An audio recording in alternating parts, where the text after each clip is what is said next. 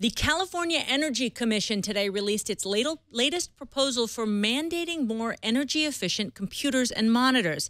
The proposed standards require that desktop computers reduce power draw by half when idle. And they establish more modest power reductions for notebooks and laptops, which already are more efficient when they're operating on battery mode, but that's not always the case when they're plugged in.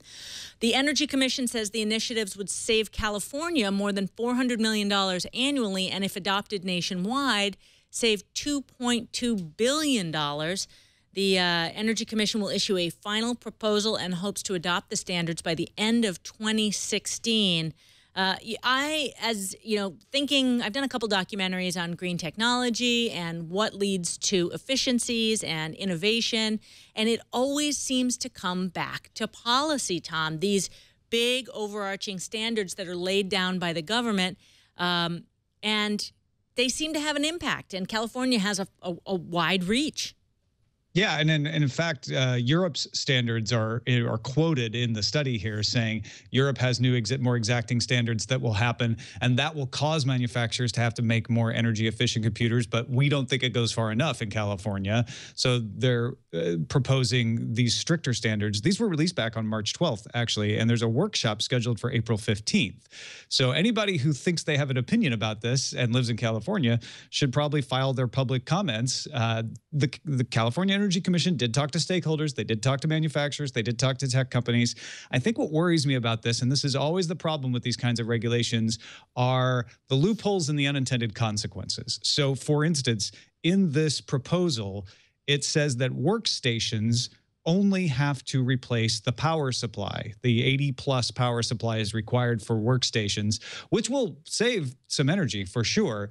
But I know that immediately a large number of enterprises are going to claim that their PCs and desktops are in fact workstations. It says in the proposal, and I'm sure there's a, a, stricter definition in the actual rules, but it says in the proposal that workstations are are uh, task-specific things like film editing stations. It's like, well, a film editing station is just a desktop computer these days. So, uh, so I feel like there's a big loophole there. Uh, I do think that it's it's great to give manufacturers some incentive, especially if you've brought them in.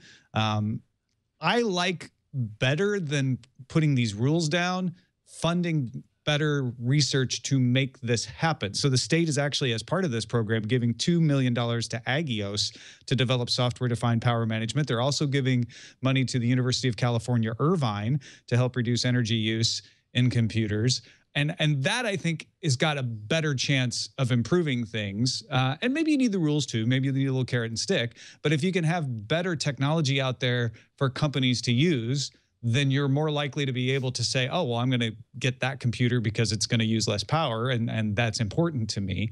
And then the rules kind of keep the bad actors from abusing the system. You would think that incentive was already in play in that big corporate enterprise is spending so much of their budget on energy costs and that they would do that already. And that's where you sort of you hope that the free markets can do as much as they can to take the low hanging fruit. But then at a certain point you got to squeeze down from the top on the on the restrictions and the policies. And for those of you who are wondering why these California laws matter so much it's that California in the past when it comes to our air resources board um, and other um, state agencies have mandated certain efficiency standards with uh, emission standards. They they brought in the smog check way back when. They were the first to limit lead in gasoline, and because California has such a huge reach in the country, that any company that wants to do business in California, it's actually more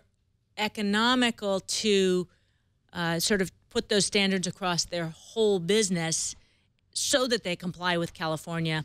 And that's really how we got a lot of the fuel efficiency standards across the country and the emission standards down. So um, I I know that you're a little more freewheeling and I'm a little bit more wonkish, but I think we can, I you know, you can put yeah, your, I'm, I'm your peanut against, butter on my chocolate and we're going to be okay here. Definitely. That sounds delicious. uh, I, I'm not against policies. I just think that policies often are touted as fixes when they're experiments.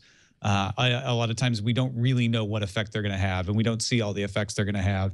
And and so that's why I'm looking at this. I'm like, well, every business out there is going to call all their desktops a workstation, replace the power supply, and be done with it. So I'm not sure that this will have the effect that it's intended to have.